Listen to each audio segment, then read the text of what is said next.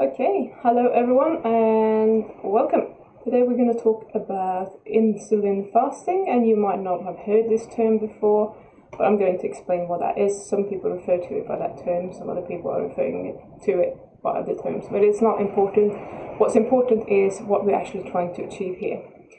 But I would like to ask you a favor first and can you please just give this video a thumbs up? I would really appreciate that and you see the subscribe button down there just click it and if you want to get the updates when I'm uploading new videos you also click that little bell and it will notify you every time that I'm uploading a video or when I'm going live which I haven't done in a while but I'm probably going to start doing that in the new year.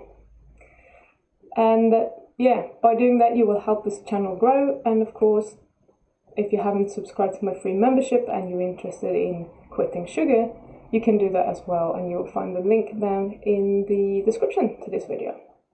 So insulin fasting, it's not really fasting actually.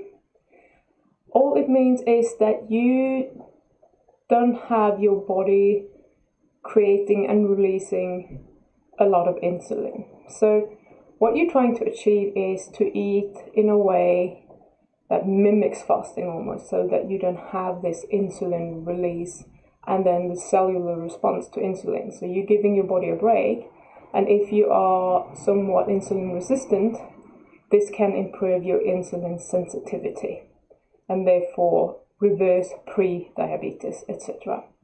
So this is a very good way of doing it if you don't want to go on a proper fast, if you maybe you're scared of fasting, have never done it before, it might be a really good way of starting doing that and it's actually really really easy to do.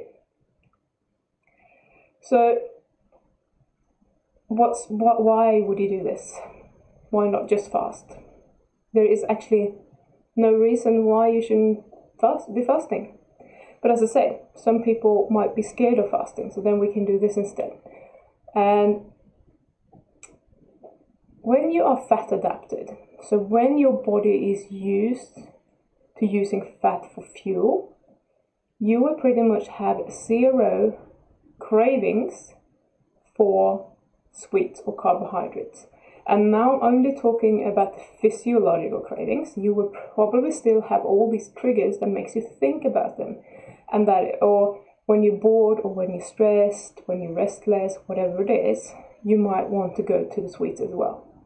I have that but I can easily get rid of the physiological cravings by going very low carb for two, three weeks, not even that nowadays, but in the beginning, if you've never done it before, it takes a little bit longer, and then I'm good. So, if you're trying to lose weight, this is also a really good way of doing that. The just getting used to burning fat for energy is obviously a very good start, and you can do that with this method as well. And so many people are scared of not eating there is nothing to be scared of, but we're just so scared that we're missing out and there's not enough food and we're going to be hungry, we're going to metabolize all our muscle mass and all these thoughts which are actually not true. But media likes to scare us. Some of them comes from food manufacturers that want us to eat every three hours so that they can sell us snacks and some of them come from fitness magazines that have read this and thinking, oh yeah, we need to keep our energy up because that's the only way we can build muscle, and otherwise we won't have energy to exercise and perform at our max. And all of that is bullshit.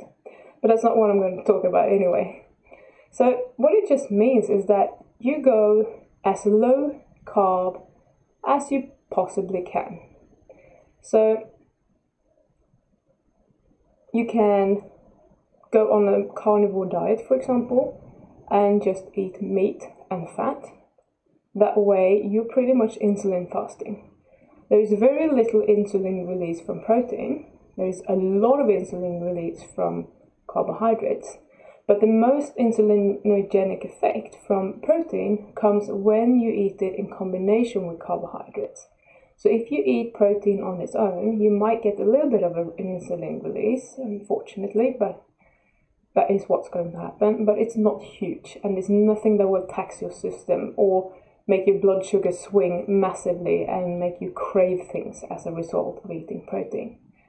But what you can do, what many keto people are doing, I think they would probably call this a fat fast, which is an insulin fast. So what they mean with that, uh, it, it doesn't really make sense in my head because when you're fasting, you're excluding things, but when you're doing a fat fast, you're only eating fat.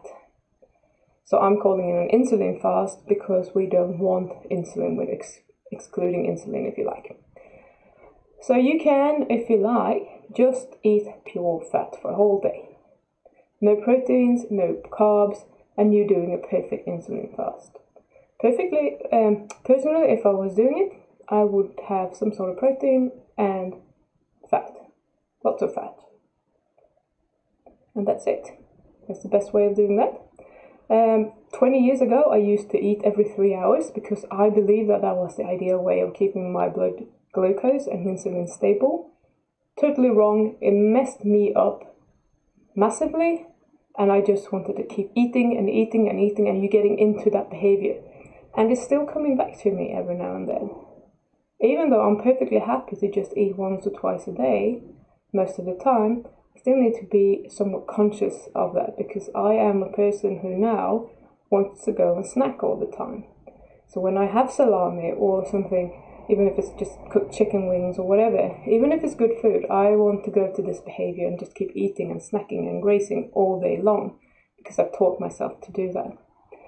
So you can still do this on an insulin fast. So you can satisfy your snacking need, which I don't necessarily recommend, but you can still do that if you find it really, really hard to deal with and get the insulinogenic effect that you actually want. So, anyway, fat in general doesn't raise your insulin at all. Just know that. So, fat, you can eat as much fat as you like as long as it's pure fat. And two, proteins only raises it a little bit, so if you want to add proteins, just do that. And if you don't want to eat anything at all, you might want to listen tomorrow when I'm talking about insulin fast, oh sorry, intermittent fasting. So if you want to eat just fat, it's perfectly safe. You can do that. Personally, I prefer to do a proper fast, as in a water fast, or actually an intermittent fast. I don't like just eating fat. But that's me personally. So it's not palatable to me and I will just avoid that. And that was it for today. Um, I think I had been rambling on a little bit, but there we go. So thank you so much for watching and I will see you again tomorrow for the intermittent fasting video. Take care.